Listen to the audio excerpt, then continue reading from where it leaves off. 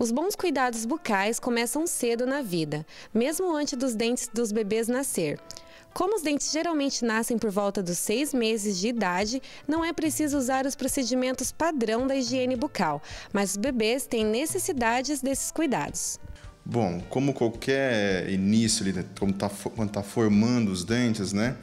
Tem que começar também a criar um hábito da criança a higienizar a boca, né?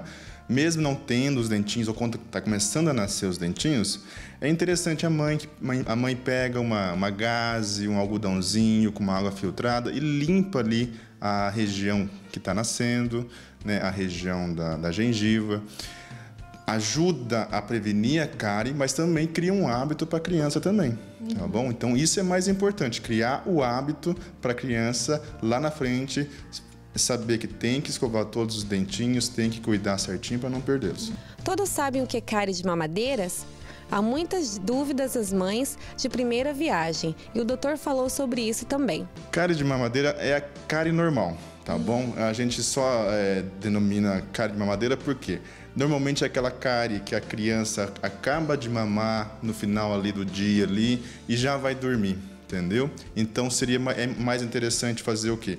A criança mamou, peito, mamadeira, alguma coisa assim, a mãe já tem que limpar, entendeu? Já tem que, ah, igual te falei, com uma ou, ou, com uma, uma gaze, ou com uma escovinha, tá? Com uma pasta ideal para criança, tá bom? Tem algumas pastas aí que contém bem menos flúor, tá? Ou não tem flúor e higienizar antes de dormir. Senão vai acontecer igual uma pessoa adulta. Não escovou o dente à noite, vai criar aquela cárie. Só que a criança, a gente chama de cárie de mamadeira porque é, vem da mamadeira, entendeu?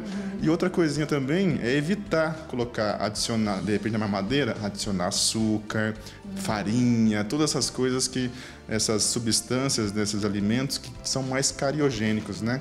Temos que ficar muito atentos com o flúor. Como saber se é necessário para os bebês?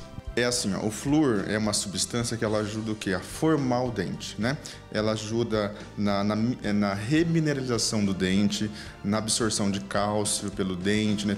Dente, osso, tudo, né? Mas principalmente voltada para a odontologia, ela ajuda nisso, a formação do dente e a recuperação quando tem algum desgaste, alguma coisa assim.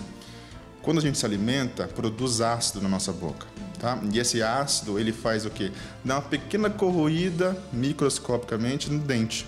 E o flúor vem para ajudar a absorver o cálcio de, de volta, tá bom? Então ele ajuda ne, nesse aspecto. Ah, hoje em dia, a gente tem abastecimento de água pela, né, pela, aqui em Morama Sanepar, né?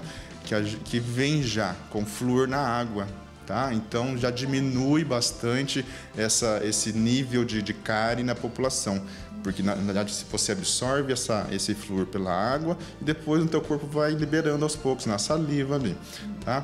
Também outro aspecto também tem a, as pastas de dente, que também contém flúor, tá? Mas não é também tão indicado para criança. Tudo é igual remédio, tudo que é em excesso faz mal, entendeu? Então, na verdade, se você tiver muito flúor, vai fazer mal também. Né? A gente tem umas doenças chamadas fluorose, né? São manchas brancas nos dentes, eles são ficar mais poroso o dente, tá? Também tudo em excesso faz mal. Então, para criança, para aquela criancinha que está começando a nascer os dentinhos, tem umas pastas que não tem flúor, tá? Ou é quase zero, concentração muito pouco de flúor, tá? Claro, pode usar do adulto? Pode, mas um pouquinho, sabe? Assim, só um risquinho na escovinha, tá? Pode ser usado, mas evitar a criança engolir, tudo isso daí. Outro tipo de flúor também é o que do consultório, né? Uhum. Que daí a gente já controla, né? Vem a criança, a gente já olha, faz o exame e vê assim, não, vamos fazer um flúor tópico, né? Porque tá precisando, né? Tá com o esmalte do dente ali um pouquinho poroso para recuperar. Uhum. E daí a gente faz aqui no consultório, né? Com a nossa vigilância certinho, o tempo necessário certinho, né? Então, assim, é outro aspecto. Tá? Então é mais ou menos isso. Na água contém flúor, né? Pasta de dente, algumas contém, outras não. Então, assim, é sempre bom visitar um dentista para saber se é necessário, de repente, complementar esse flúor ou não. Tá? Mas normalmente não precisa.